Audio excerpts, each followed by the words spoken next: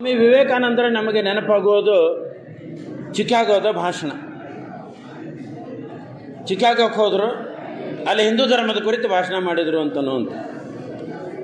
ನಾನು ತಮ್ಮಲ್ಲಿ ಆತ್ಮೀಯವಾಗಿ ವಿನಂತಿಸಿಕೊಳ್ತೇನೆ, ಹದಿನೈದು ಇಪ್ಪತ್ತು ಮಿನಿಟ್ ಒಟ್ಟೆ ಬೇರೆ ಮಾತಾಡಬಾರ್ದು, ಓಕೆ? ಹಿಂದೂಸ್ತಾನದ ಶ್ರೇಷ್ಠ ಒಂದು ರಾಜ್ಯ ಬಂಗಾಳ.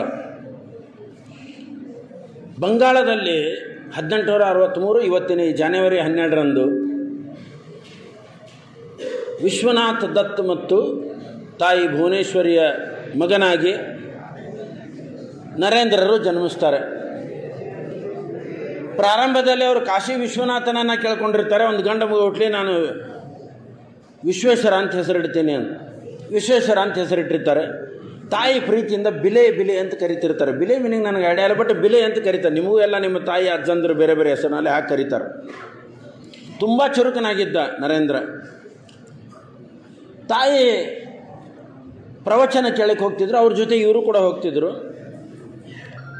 ಅಲ್ಲಿ ಹನುಮನ್ ದೇವರ ಬಗ್ಗೆ, ಹನುಮಂತನ ಬಗ್ಗೆ ಪ್ರವಚನ ಮಾಡ್ತಿದ್ದಾಗ ಇವ್ರು ಎದ್ದು ನಿಂತು ಕೇಳ್ತಾರೆ ಪ್ರವಚನಕಾರ್ರೆ ನೀವು ಹನುಮಂತನನ್ನು ನೋಡಿದ್ದೀರಾ? ಎಲ್ಲಿದ್ದಾನೆ? ನೋಡ್ರಿ ಬಾಲ್ಯದಲ್ಲೇ ಆಧ್ಯಾತ್ಮದ ಒಲವಿತ್ತು, ದೇವರನ್ನು ಕಾಣುವ ಹಂಬಲ ಇತ್ತು.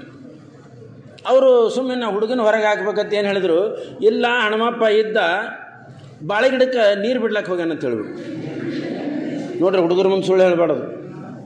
ಆ ಪ್ರವಚನ ಬಿಟ್ಟಂಥ ನರೇಂದ್ರ ಸೀದಾ ಬಾಳೆ ಗಿಡದೊಳಗೆ ಎಲ್ಲ ಹುಡುಕಾಡಿ ಬಂದು.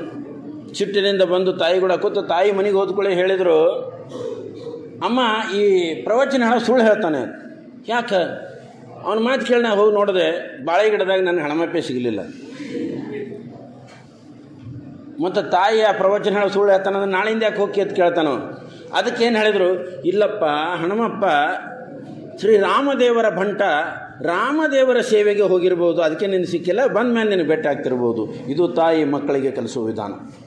ಬಾಲ್ಯದಲ್ಲೇ ಭಾಳ ಚುರುಕಾಗಿದ್ದಂಥವರು. ಅಕ್ಕನನ್ನು ಸಹಜವಾಗಿ ಎಲ್ಲರಂತೆ ಕಾಡಿಸ್ತಿದ್ರು. ಚುರುಕ ಹುಡುಗ. ತಂದೆ ವಕೀಲರು, ಆಗಿನ ವಕೀಲರು ಕೋಟು ಹಿಂದೊಂದು ಛತ್ರಿ, ಭಾಳ ದಿಟ್ಟಿರುತ್ತೆ ಸದ್ದಾಮೂಷನ್ ಇರ್ತಿರುತ್ತೆ ಏನು ಸಿಟ್ಟು, ಏನು ವಕೀಲರದ್ದು ಅದು. ಹೋಗೋ ಹೊತ್ನಾಗ ಮಗನನ್ನು ಕರೆದು ಸುಮ್ಮನೆ ಕೇಳ್ತ. ಏ, ನಾಳೆ ದೊಡ್ಡವನ ಅಂದಮೇಲೆ ನರೇಂದ್ರ, ನೀನು ಏನಾಗ್ತೀಯಾ ಆ ಹೇಳ್ತಾನೆ, ಸಾರೋಟ್ ಹೊಡ್ಯಾವ, ಈಗ ನಮ್ಮಲ್ಲಿ ಟಾಂಗ ಅಂತಿರಲ್ಲ. ಸಾರೋಟ್ ಹೊಡೆಯವನ ಆಗ್ತೀನಿ ಅಂತ ಹೇಳಿಬಿಟ್ರು. ಸಿಟ್ಟಿಗೆ ಅದು ವಕೀಲರ ಮಗಾಗಿ ಟಾಂಗ ಹೊಡಿತದ, ಹೊಡ್ತಾ ಹೊಡೆದ್ರು. ಮರ್ಯಾದೆಗಳ ಮಗನೇ.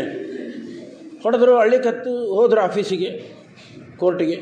ಅವ್ರು ಬರೋದ್ರಾಗಿ ತಾಯಿ ಕೇಳಿ ನಿಮ್ಮಪ್ಪ ಮೊದಲೇ ಸಿಟ್ಟಿನಾಗ ಇದ್ದಾನೆ ಯಾರೇ ಟಾಂಗ ಹೊಡೆಯೋರಾಕ್ಕಾರ ಅಂತ ಹೇಳ್ತಾರ. ಈ ನೀನು ವಕೀಲ ಹಾಕಿ ನಿಂದೇನು ಗಂಟೆ ಹೋಗ್ತಿತ್ತು? ಅಮ್ಮ, ನೀವು ಕೈ ಹಿಡಿದು ಕರ್ಕೊಂಬಂದು ಫೋಟೋ ತೋರಿಸ್ತಾನೆ. ಕುರುಕ್ಷೇತ್ರದಲ್ಲಿ, ಯುದ್ಧದಲ್ಲಿ ಅರ್ಜುನ ಬಾಣ ಆಡಿಕೊಂಡು ನಿಂತಾಗ ತಳಗ ಸಾರಥ್ಯ ವಹಿಸಿದವರು ಕೃಷ್ಣ. ಅಮ್ಮ, ಕೃಷ್ಣ ಇಲ್ಲೇ ಸಾರಥ್ಯ ಮಾಡಿದಾಗ ಅವ್ರನ್ನ ಪೂಜೆ ಮಾಡ್ತೀರಿ. ನಾನು ಸಾರಥ್ಯ ಆಗಿ ಸಾರೋಟ್ ಹೊಡಿತೀನಿ ಅಂದ್ರೆ ನಾನು ಹೊಡಿತೀರಿ. ಇದೆಯಾ ನ್ಯಾಯ? ಅಂತ ಓ, ಮಂದ ಗಂಡ ಬಂದ್ಕೊಳ್ಳೆ ಸಮಾಧಾನ ಹೇಳಿದ್ರು. ನೋಡ್ರಿ, ನಮ್ಮ ಮಗ ಹೇಳಿದ್ದು ಧರ್ಮದ ಸಾರಥ್ಯವನ್ನು ವಹಿಸ್ತಾನೆ. ಟಾಂಗ ಹೊಡೆಯವನಲ್ಲ ಹಿಂದೂ ಧರ್ಮದ ಸಾರಥ್ಯವನ್ನು ವಹಿಸುವ ಲಕ್ಷಣ ಬಾಲ್ಯದಲ್ಲೇ ವಿವೇಕಾನಂದರಿಗೆ ಇತ್ತು ಅನ್ನೋದು ನಮ್ಗೆ ಗೊತ್ತಾಗ್ತದೆ. ಆ ಕೆಲಸ ಮುಂದೆ ಅವ್ರು ಮಾಡ್ತಾರೆ.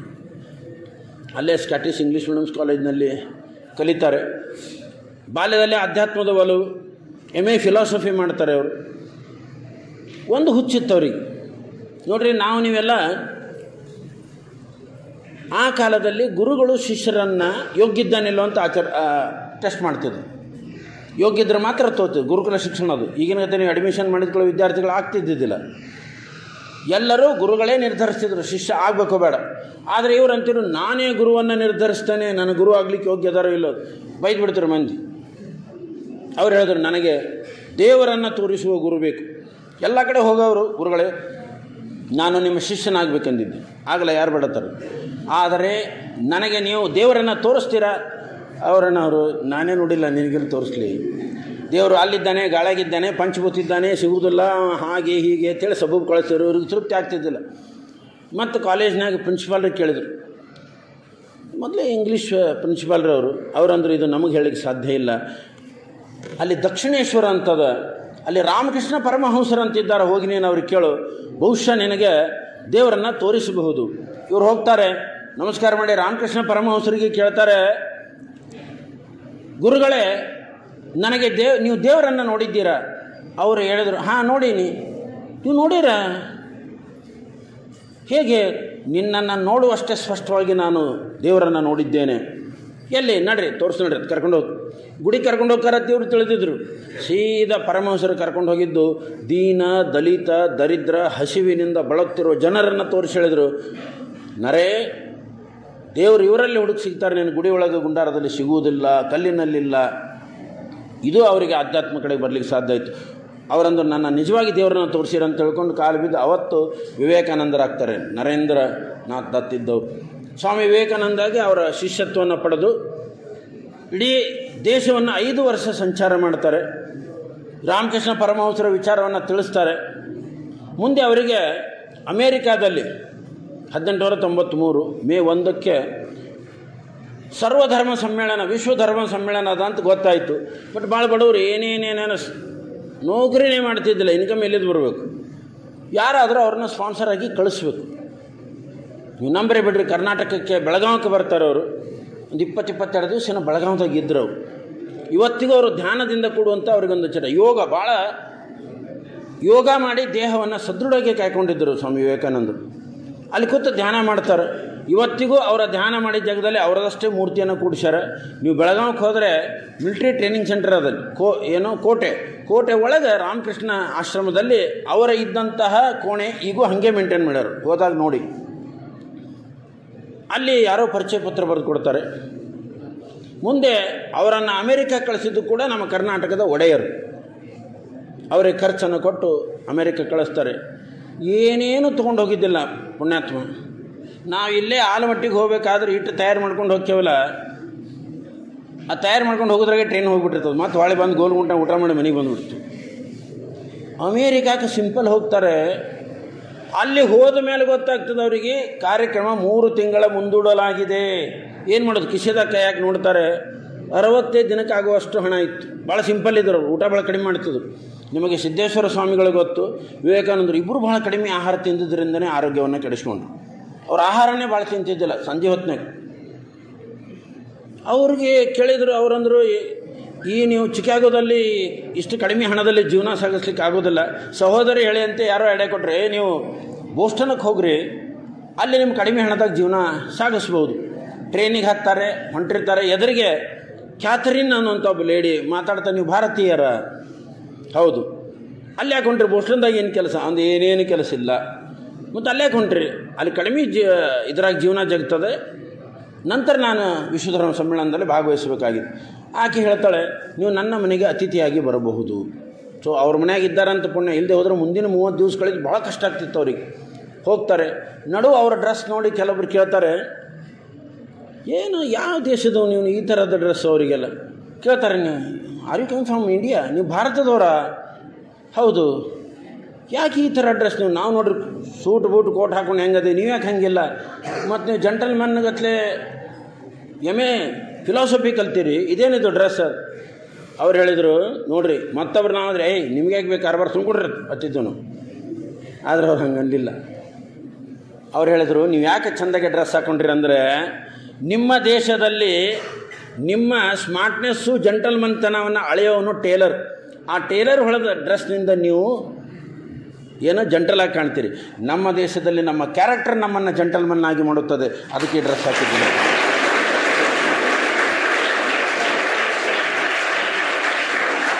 ಈಗ ಅಮೇರಿಕಾದ ಇಂಗ್ಲೆಂಡ್ ಎಲ್ಲ ಹೋಗ್ರಿ ಸೋಟ್ ಬೂಟ್ ಹಾಕೊಂಡೇ ಬರ್ತಾರೆ ಅವರೆಲ್ಲ ಸಂಸತ್ತಿಗೆ. ಸಿದ್ದೇಶ್ವರ ಸ್ವಾಮಿಗಳು ನೋಡಿದ್ರೆ ಎಷ್ಟು ಸರಳಿದ್ರು. ಸೂಟ್ ಬೂಟ್ ಹಾಕಿದ್ರ ಕಿಸೇನೇ ಇದ್ದಿದ್ದಿಲ್ಲ. ಆ ವ್ಯಕ್ತಿಯನ್ನು ನಾವು ಜಂಟಲ್ಮನ್ ಅಂತ ಯಾಕಂದ್ವಿ? ಅವರ ಕ್ಯಾರೆಕ್ಟರ್ ಮತ್ತು ಅವರ ಜ್ಞಾನ ನಮ್ಮಲ್ಲಿ ಜಂಟಲ್ಮನ್ ಮಾಡ್ತದೆ. ಈ ಥರ ಚಂದ ಉತ್ತರ ಕೊಡ್ತಿದ್ರು ವಿವೇಕಾನಂದರು. ಯಾರೇ ಕೇಳಿ. ಭಾಳ ದಿವಸ ಆಯಿತು.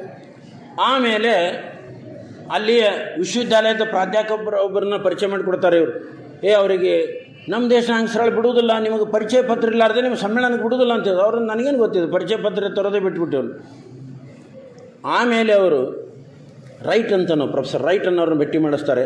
ಅವ್ರು ಇವ್ರ ಜೊತೆ ಮಾತಾಡಿ, ಇವ್ರ ಜ್ಞಾನ ನೋಡಿ ನೋಡ್ರಿ, ಪತ್ರ ಹೇಗೆ ಬರೆದು ಕೊಡ್ತಾರೆ ವಿಶ್ವಧರ ಸಮ್ಮೇಳನದ ಆರ್ಗನೈಸರ್ಗೆ. ಭಾರತದಿಂದ ಒಬ್ಬ ಸನ್ಯಾಸಿ ಬಂದಿದ್ದಾನೆ. ಅವರ ಜ್ಞಾನ ಎಷ್ಟಿದೆ ಅಂದರೆ, ನಮ್ಮ ವಿಶ್ವವಿದ್ಯಾಲಯದ ಎಲ್ಲ ಪ್ರಾಧ್ಯಾಪಕರನ್ನು ಒಂದು ತಗಡೆಯಲ್ಲಿ ಹಾಕಿದರೆ, ಅವರನ್ನು ಇನ್ನೊಂದು ತಗಡೆ ಕೂಡಿಸಿದ್ರೆ ಅವರದೇ ತೂಕ ಹೆಚ್ಚಾಗುತ್ತದೆ ಅಂಥ ಜ್ಞಾನವಂತ ಬಂದಿದ್ದಾನೆ. ಅವರಿಗೆ ಅನುಮತಿ ಕೊಡಿ ಅಂತ ಪತ್ರ ಬರೀತಾರೆ. ಇದು ಭಾರತದ ಶ್ರೇಷ್ಠತೆ. ಸಮ್ಮೇಳನಕ್ಕೆ ಬರ್ತಾರೆ. ಏಳು ನೂರು ಸನ್ಯಾಸಿಗಳು ಈ ಥರ ಜಗತ್ತಿನ ಎಲ್ಲ ಧರ್ಮದ ಸರ್ವಧರ್ಮ ಸಮ್ಮೇಳನ ಅದು. ಈ ಥರ ವೇದಿಕೆ. ಎಲ್ಲರೂ ತಮ್ಮ ತಮ್ಮ ಧರ್ಮ ಗ್ರಂಥಗಳನ್ನು ಒಯ್ದಿದ್ದರು ಸಹಜವಾಗಿ ವಿವೇಕಾನಂದರು ಭಗವದ್ಗೀತೆಯನ್ನು ಅಲ್ಲಿ ತೊಗೊಂಡೋಗಿದ್ರು. ನೀವು ಒಂದು ತಿಳ್ಕೊರಿ, ಇತಿಹಾಸ ರಿಪೀಟ್ ಹೇಗಾಗ್ತದೆ? ಅಂದು ಆ ನರೇಂದ್ರ ಭಗವದ್ಗೀತೆಯನ್ನು ತಗೊಂಡು ಅಮೇರಿಕಾಕ್ಕೆ ಹೋದರೆ, ಇಂದಿನ ನರೇಂದ್ರ ಮೋದಿ ಅವರು ಕೂಡ ಅಮೇರಿಕಾಕ್ಕೆ ಹೋದಾಗ ಒಯ್ದಿದ್ದ ಗ್ರಂಥ ಯಾವುದು? ಭಗವದ್ಗೀತೆ ಗ್ರಂಥ. ಈ ಗ್ರಂಥವನ್ನು ಮೋದಿಜಿ ಅವರು ಬಾರಾಕ ಒಬಾಮಗೆ ಕೊಡ್ತಾರೆ? ಗ್ರಂಥ ತೆಗೆದು ನೋಡ್ತಾರೆ ನಕ್ಕ ಬಿಡ್ತಾನೆ ಒಬಾಮ. ಇವರಂದ್ರೆ ಯಾಕೆ? ಮೋದಿಜಿ, ಈ ಗ್ರಂಥ ಆಲ್ರೆಡಿ ಎಲ್ಲ ಅಮೇರಿಕಾದ ಎಲ್ಲ ಗ್ರಂಥಾಲಯದಲ್ಲಿದೆ. ಅಮೇರಿಕಾದ ಅಧ್ಯಕ್ಷನ ಒಂದು ಪರ್ಸ್ನಲ್ ಗ್ರಂಥಾಲಯದಲ್ಲೂ ಕೂಡ ಆಲ್ರೆಡಿ ನಮ್ಮ ಭಗವದ್ಗೀತೆ ಇದೆ ಅಂತ ಹೇಳಿದಾಗ, ನೋಡ್ರಿ, ಇಬ್ಬರು ನರೇಂದ್ರರು ಭಗವದ್ಗೀತೆಯನ್ನು ಅಂತಾರಾಷ್ಟ್ರೀಯ ಮಟ್ಟಿಗೆ ಒಯ್ದಂಥದ್ದು. ಆ ಭಗವದ್ಗೀತೆ ಒಯ್ದಿಟ್ಟಿರ್ತಾರೆ. ಎಲ್ಲರೂ ತಮ್ಮ ತಮ್ಮ ಗ್ರಂಥ ಇಡ್ತಾರೆ. ಭಗವದ್ಗೀತೆ ಕೆಳಗಿರ್ತದೆ ಎಲ್ಲರ ಮೇಲೆ ಇಟ್ಟಿರ್ತಾರೆ ಅವ್ರು ಉಳಿದವರು ನರೇಂದ್ರ ಅಂತ. ನರೇಂದ್ರ, ನಿಮ್ಮ ಗ್ರಂಥ ತಳಗಿದೆ. ನೋಡ್ರಿ, ನಾವು ಯಾರೇ ಆಗಿದ್ದೇವೆ ಅಂದ್ರೆ ಬಡ ಬಡ ಸೀದಾ ಹೋಗಿ ಗ್ರಂಥ ಮೇಲೆ ಇಟ್ಬಿಡ್ತಿದ್ದೆವು ನಾವು. ಆಮೇಲೆ, ಏ ಯಾವ ನಮ್ಮ ಗ್ರಂಥ ತಳಗಿಟ್ಟವ? ಮುಟ್ಟಿದ್ರೆ ನಮ್ಮ ಮಕ್ಕಳ ನಿಮ್ಮ ಬರಬರಿ, ಹೊರಗರೆ ಬರ್ರಿ ನೀವು ಅಂತಿದ್ದೆವು ನಾವು. ಅವ್ರು ಹಂಗನ್ಲಿಲ್ಲ. ಅದು ಸಂಘಟಿಕರು ಭಾಳ ಕರೆಕ್ಟ್ ಜಗನಾಗ ಇಟ್ಟರು ನನ್ನ ಧರ್ಮಗ್ರಂಥ ಭಗವದ್ಗೀತೆಯನ್ನು. ಯಾಕೆ ಅಂದ್ರೆ ಉಳಿದವರು? ತಳಗದಲ್ಲ. ಲೇ ನಿಮ್ಮ ಅಟ್ರದ್ದು ಗ್ರಂಥ ನಿಂತಿದ್ದೇ ಭಗವದ್ಗೀತೆ ಮೇಲೆ ಅದು ಬರಬರಿ ಜಗನಾಗದಂತ ಹೇಳಿ. ಇದು ನರೇಂದ್ರ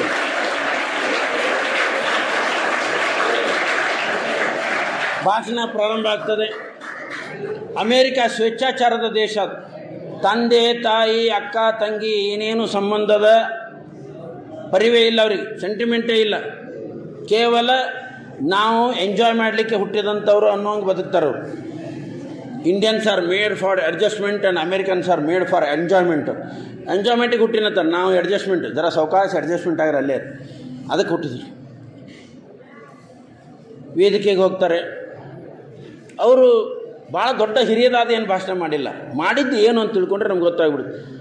ಅವರಲ್ಲಿ ಹೋಗಿ ಹೇಳಿದ್ದೇನು my brothers and sisters of America ಅಮೇರಿಕಾದ ನನ್ನ ಸಹೋದರ ಸಹೋದರಿಯರು ಅಂದರೆ ಗಾಬರಿ ಆದ್ರೆ ಅವರು ಒಡ ಹುಟ್ಟಿದವರೇ ನಮಗೆ ಸಹೋದರಿ ಸಹೋದರಿ ಅನ್ನೋದಿಲ್ಲ. ಈ ಪುಣ್ಯಾತ್ಮ ಎಲ್ಲಿಂದ ಬಂದು ನಮ್ಮನ್ನು ಸಹೋದರ, ಸಹೋದರಿ ಅಂತಾರಂದರೆ ಅವರ ಚಪ್ಪಾಳೆ ಎರಡು ಮಿನಿಟ್ ಕಂಟಿನ್ಯೂ ಆಗಿರ್ತದೆ ಆರನೇದ್ರೆ ಏ, ಚಪ್ಪಾಳೆ ಮನೆ ಹೆಸರು ಮುಂದೆ ಭಾಷಣ ಮಾಡ್ತಾರೆ ಅವರು? ಅಷ್ಟು ಚಪ್ಪಾಳೆ ಬಾರಿಸಿದ್ದು.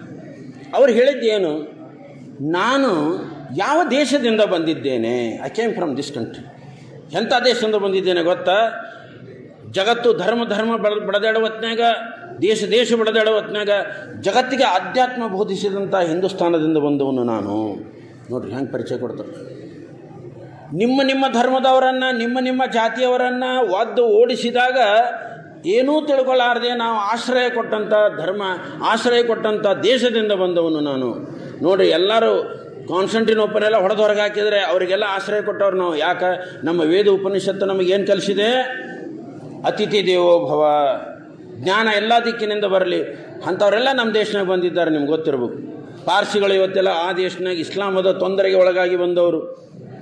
ಅಂಥ ದೇಶದಿಂದ ನಾನು ಬಂದಿದ್ದೇನೆ. ಜಗತ್ತಿಗೆ ಆಧ್ಯಾತ್ಮ, ಒಂದು ಕಾಲಕ್ಕೆ ನಮಗೆ ತಳಂದ ತಕ್ಷಶಿಲಾ ವಿಶ್ವವಿದ್ಯಾಲಯ ಇದ್ದಾಗ ಬೇರೆ ಬೇರೆ ದೇಶದಿಂದ ನಮ್ಮನ್ನು ಕಲೀಲಿಕ್ಕೆ ಬರ್ತಿದ್ರು.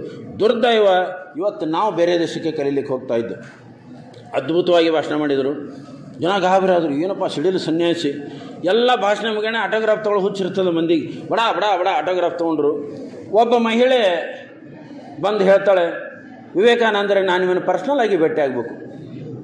ಅವರಂದರು, ಏನು ಅಂತದ ಇಲ್ಲ ಪರ್ಸ್ನಲ್ ಎಲ್ಲರೂ ಹೋದರೂ ಬಂದ್ಲಕ್ಕೆ ಸ್ವಾಮಿ ವಿವೇಕಾನಂದರು ನೀವು ನೋಡಿದ ಮೇಲೆ ನನ್ನೊಂದು ವಿಚಾರ ಬದಲಾವಣೆ ಆಗಿದೆ.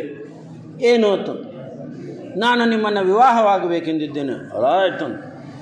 ನೋಡ್ರಿ ಸನ್ಯಾಸಿ ಎಲ್ಲ ಸಂಸಾರ ಬಿಟ್ಟು ಎಲ್ಲ ಬಿಟ್ಟು ಅಲ್ಲಿ ಹೋದಾಗ ಏನು ಕೇಳ್ತಾಳಾಕೆ ನಿಮ್ಮನ್ನು ವಿವಾಹವಾಗಬೇಕೆಂದಿದ್ದೇನೆ.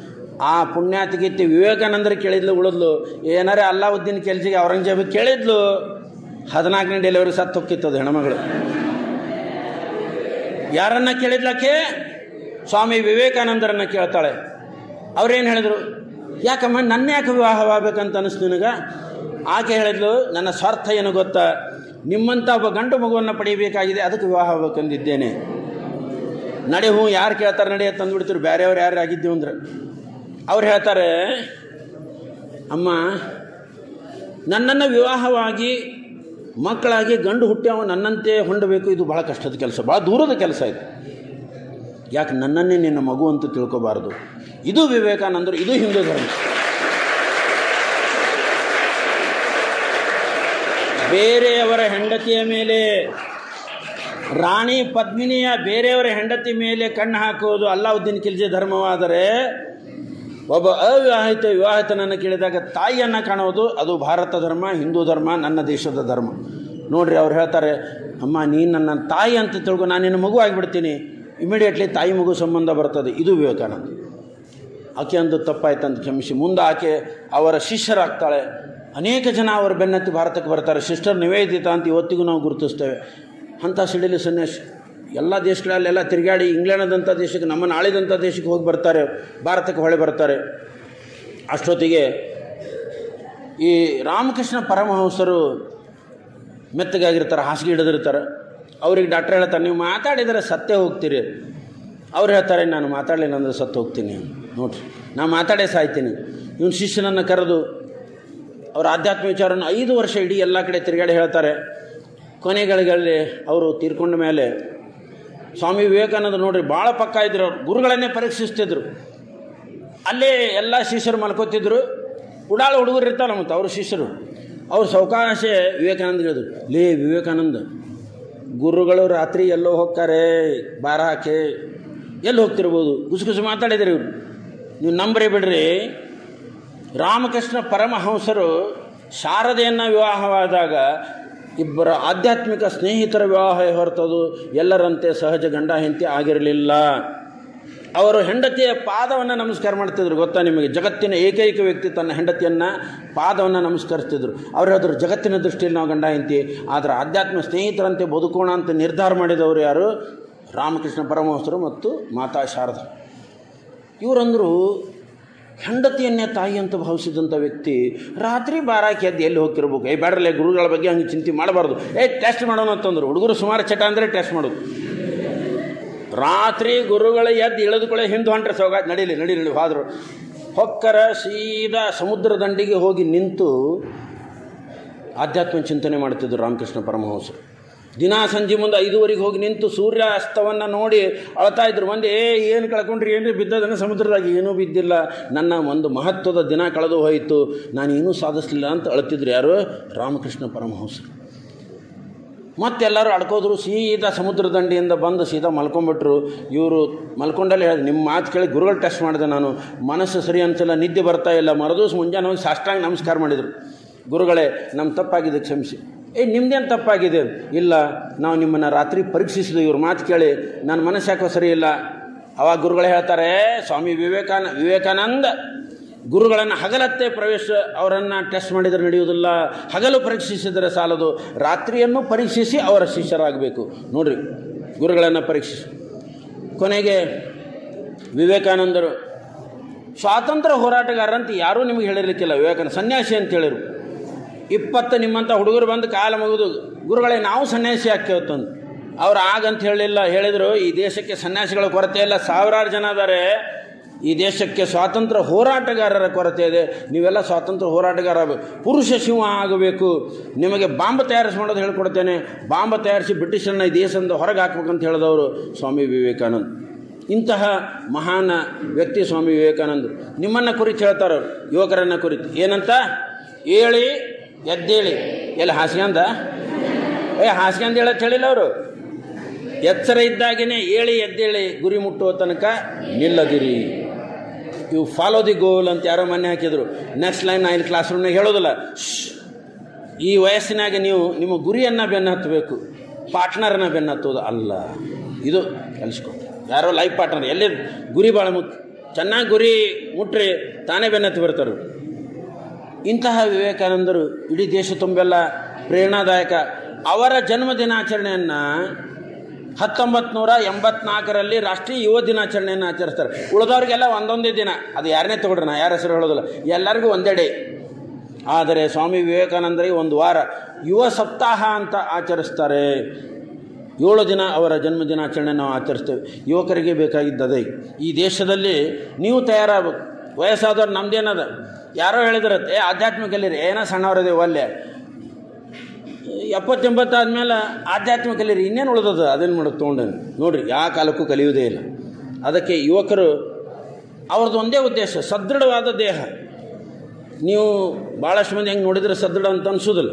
ಎಲ್ಲೋ ಕೆಲವೊಬ್ಬರು ಬರೋದು, ಉಳಿದವರೆಲ್ಲ ಸೊಟ್ಟ ಕಡ್ಡಿದಿರಿ ಸದೃಢವಾದ ದೇಹದಲ್ಲಿ ಸದೃಢವಾದ ಮನಸ್ಸು ಇರುತ್ತದೆ ಅಂತ ಹೇಳಿದವರು, ಕುಸ್ತಿ ಪೈಲ್ವಾನ್ ಅವರು ಆದರೆ, ವಿಚಿತ್ರ ಅಂದರೆ ಕೇವಲ ಮೂವತ್ತೊಂಬತ್ತು ವರ್ಷ ಮಾತ್ರ ಬದುಕಿದ್ರು ಎಷ್ಟು ವರ್ಷ? ಮೂವತ್ತು. ನಾವೇನತ್ತೆ ಸಾಧನೆಗೆ ಏನೋ ಸ್ವಲ್ಪ ದಿವಸ ಹೋಗಲಿ. ರಿಟೈರ್ಡ್ ಆಗಲಿ, ಅರವತ್ತಾಗಲಿ, ಎಪ್ಪತ್ತಾಗಲಿ. ಎಪ್ಪತ್ತಾದ್ಮೇಲೆ ಬಿ ಎಲ್ಡರೇ ಆಲಮಿಂದ ಕಲಾ ಸಲಾಯನ್. Rip rip Kalas R, I, P, R, I, P. ಇದೇ ಸಾಧನೆ. ಸಾಧನೆಗೆ ಕರೆಕ್ಟ್ ವಯಸ್ಸು ಹೇಳ್ತೀನಿ ನಾನು ನಿಮಗೆ. ಮೂವತ್ತ್ ಮೂರರಿಂದ ಮೂವತ್ತೊಂಬತ್ತನಾಗೆ ಜಗತ್ತು ಪ್ರಸಿದ್ಧರಾದವರು ನೂರಾರು ಮಂದಿ. ಅಲೆಕ್ಸಾಂಡರ್ ಜಗತ್ತನ್ನು ಗೆಲ್ಲಬೇಕಂತ ಬಂದು ಪ್ರಾಣ ಕಳ್ಕೊಂಡಾಗೆ ಮೂವತ್ತ್ಮೂರು ವಯಸ್ಸಿದ್ದು. ತೆಂಡೂಲ್ಕರ್ ನಮ್ಮ ಶತ್ರು ಪಾಕಿಸ್ತಾನದ ಗ್ರೌಂಡದಲ್ಲಿ ಮೂರು ಬಾಲ್ ಸಿಕ್ಸ್ ಹೊಡೆದಾಗ ಹದಿನಾರು ವರ್ಷ ವಯಸ್ಸು. ನಾವು ಹದಿನಾರು ಕಳ್ಕೋತ ಸಾಲಿಗೆ ಹೋಗಿದ್ದು. ಏ, ಹೋಗಲೇ ಸಾಲಿಗೆ ಶಂಕರಾಚಾರ್ಯ ಇಡೀ ದೇಶವನ್ನು ಎರಡು ಸರ್ತೆ ಪಾದದ ಪಾದಯಾತ್ರೆಯಲ್ಲಿ ತಿರುಗಾಡಿ ನಾಲ್ಕು, ಐದು ಕಡೆ ಪೀಠವನ್ನು ಸ್ಥಾಪಿಸ್ತಾರೆ ಅವರು. ಹದಿನಾರನೇ ವಯಸ್ಸಿನಾಗ ನಾಲ್ಕು ವೇದ ಭಯಪಟ್ಟು ಹೇಳ್ತಿದ್ರು. ತೀರ್ಕೊಂಡಿದ್ದೆ ಮೂವತ್ತ್ಮೂರು ವರ್ಷ ಶಂಕರಾಚಾರ್ಯ ಜಗತ್ ಪ್ರಸಿದ್ಧ ಇಲ್ವಾ? ಸಿದ್ಧಾಂತವನ್ನು ಬೋಧಿಸಿಲ್ವಾ? ಸಣ್ಣ ವಯಸ್ಸು ಸಾಧನೆಗೆ ಮೂವತ್ತೊಂಬತ್ತು ವಿವೇಕಾನಂದರು ತೀರ್ಕೊಂಡಿದ್ದು, ಗೊತ್ತಾ? ಅವರು ಇಷ್ಟೆಲ್ಲ ಸದೃಢ ಇದ್ರೂ ಅವರಿಗೆ ಕ್ಯಾನ್ಸರ್ ಕುತ್ತಲ್ಲೇ ಧ್ಯಾನ ಮಾಡ್ತಾನೆ ಅವರು. ಇವತ್ತಿನ ಕಲ್ಕತ್ತಾದ ಎರಡು ಮಠ ಅವರೇ ಸ್ಥಾಪಿಸ್ತಾರೆ ಗುರುಗಳ ವಿಚಾರವನ್ನು ಹೇಳಲಿಕ್ಕೆ. ಒಂದು ಬೇಲೂರು ಮಠ. ಇವತ್ತು ಭಾಳ ದೊಡ್ಡ ದೇಶದಲ್ಲಿ ಪ್ರಸಿದ್ಧ ರಾಮಕೃಷ್ಣ ವಿವೇಕಾನಂದ ಆಶ್ರಮದ ಮಠ ಅದು. ದಕ್ಷಿಣೇಶ್ವರ ಮಠ. ಅಲ್ಲಿ ಅವರು ಧ್ಯಾನಾಸಕ್ತರಾಗಿ ಕುಳಿತು ಮಲ್ಕೋತಾರೆ. ಮುಂದೆ ಅವರು ಹೇಳೋದೇ ಇಲ್ಲ. ಹತ್ತೊಂಬತ್ತು ನೂರ ಎರಡು ನಮ್ಮನ್ನು ಅವರು ಬಿಟ್ಟು ಹೋಗಿದ್ದು. ಕೇವಲ ಮೂವತ್ತೊಂಬತ್ತು ವರ್ಷ. ಆತ್ಮೀಯರೇ, ವಿವೇಕಾನಂದರನ್ನು ಕೇವಲ ಒಂದು ಆಧ್ಯಾತ್ಮ ಅಥವಾ ಒಂದು ಇತಿಹಾಸದ ವ್ಯಕ್ತಿಯನ್ನಾಗೆಲ್ಲ ನೀವು ಆದರ್ಶವನ್ನಾಗಿ ತಗೋಬೇಕು ಅಂತನ್ನುವಂಥದ್ದು. ಇಂಥ ಒಂದು ಉತ್ತಮವಾದಂಥ ವಿವೇಕಾನಂದರ ವಿಚಾರವನ್ನು ಕೇಳಲಿಕ್ಕೆ ಆರ್ಗನೈಸ್ ಮಾಡಿದಂಥ ಅಖಿಲ ಭಾರತೀಯ ವಿದ್ಯಾರ್ಥಿ ಪರಿಷತ್ತು ಮತ್ತು ತಮ್ಮ ಶಿಕ್ಷಣ ಸಂಸ್ಥೆ ಮೇಡಮ್ ಅವರು ಭಾಳ ಸಣ್ಣ ವಯಸ್ಸಿನಾಗ ಭಾಳ ದೊಡ್ಡ ಜವಾಬ್ದಾರಿಯನ್ನು ದೇವರವರಿಗೆ ಕೊಟ್ಟಿದ್ದಾನೆ. ಚೇತನ ಶಿಕ್ಷಣ ಸಂಸ್ಥೆ ಭಾಳ ಅದ್ಭುತವಾಗಿ ಅವರು ಈ ಸ, ಈ ಸಂಸ್ಥೆಯನ್ನು ಕಟ್ಟಿದ್ದಾರೆ. ಈ ಎರಡೂ ಸಂಘಟನೆಯವರು ಸೇರಿ ನಿಮಗೆ ವಿವೇಕಾನಂದರನ್ನು ಮತ್ತು ಜೀಜಾಮಾತೆಯಂತಹ ಒಂದು ತಾಯಿಯ ಜನ್ಮದಿನಾಚರಣೆಯನ್ನು. ಯಾಕೆ ನಾವು ಜೀಸಾಮಾತೆಯನ್ನು ಗುರುತಿಸಬೇಕು? ಈ ದೇಶ ಒಂದು ಹೆಣ್ಣನ್ನು ಯಾರ ತಾಯಿ ಅಂತ ಗುರುತಿಸ್ತವೆ? ಅದು ಹಿಂದೂ ಧರ್ಮ. ಯಾರ ಹೆಂಡತಿ ಅಂತ ಗುರುತಿಸೋದು ಇಸ್ಲಾಂ ಧರ್ಮ. ನೋಡ್ರಿ, ಯಾರನ್ನೇ ಕೇಳ್ರಿ, ಕೌಸಲ್ಯ ಯಾರು? ರಾಮನ ತಾಯಿ, ದಶರಥನ ಅಂತ ಅಂತ ಹೇಳೋದಿಲ್ಲ ನಾವು ಜೀಜಾಮಾತೆ ಯಾರು ಅಂತ ಕೇಳಿದಾಗ ಏನು ಹೇಳ್ತೀರಿ? ಶಿವಾಜಿ ತಾಯಿ. ಯಾಕೆ ಶಹಾಜಿ ಹೇಳ್ತಾ ಅಲ್ಲೇನು ನೋಡಿ, ನಿಮ್ಮ ತಂದೆಗೂ ನಿಮಗೆ, ನಿಮ್ಮ ತಂದೆಗೆ ಧೈರ್ಯ ಇಲ್ಲ ನಾನು ಇಲ್ಲೇ ಕೂತ್ ಹೇಳ್ತೀನಿ. ಹೇಳ, ನಿಮ್ಮ ತಂದೆಗೆ ನಿಮ್ಮ ಮುಂದೆ ನಿಮ್ಮ ತಾಯಿಯನ್ನು ಕರೆಯೋ ಧೈರ್ಯ ಇಲ್ಲ. ಏಯ್ ನಾನು ಹೆಂತಿನ ಕರಿ ಅಂದ್ರೆ ಏ ಕರಿ ನೀನು ಹೆಂತಿನ ನೀ ಕರೆಯುತ್ತೀನಿ ನಿಮ್ಮ ತಾಯಿಯನ್ನು ನಿಮ್ಮ ಅಮ್ಮನ ಕರಿ, ನನ್ನ ಹೆಂಡ್ತಿನ ಕರಿ ಅಂತ ಹೇಳೋ ಧೈರ್ಯ ಇಲ್ಲ. ನಿಮ್ಮ ಅಮ್ಮಗೂ ಧೈರ್ಯ ಇಲ್ಲ. ಏ, ನನ್ನ ಗಂಡನ ಕರಿ, ನಿನ್ನ ಗಂಡ ನೀ ಕರಿ, ನಾನು ಕರಿಲೇತ್ರಿ ನಿಮ್ಮ ಅಪ್ಪನ ಕರಿ, ಹಾಂ, ಇದು ಭಾರತ. ಜೀಜಾಮಾತೆ ಶಿವಾಜಿ ತಾಯಿ. ಶಿವಾಜಿಯನ್ನು ಹೇಗೆ ಪ್ರೇರಣೆ ಮಾಡ್ತಾರೆ? ಅದಕ್ಕೆ ನಾಳೆ ನೀವು ಇವತ್ತು ವಿದ್ಯಾರ್ಥಿನಿಯರದಿರಿ ನಾಳೆ ಗೃಹಿಣಿ ಆಗ್ತೀರಿ, ತಾಯಿ ಆಗ್ತೀರಿ. ಆವಾಗ ಶಿವಾಜಿ ಮಹಾಜರ ಮಹಾರಾಜರಂಥವರನ್ನು ಸ್ವಾಮಿ ವಿವೇಕಾನಂದರಿಗೆ ಜನ್ಮ ಕೊಡುವಂಥ ದಿವಸ ಬರಲಿ ಅಂತ ಹೇಳ್ತಾ ನಾನು ಮಾತು ಮುಗಿಸ್ತೇನೆ. ನಮಸ್ಕಾರ.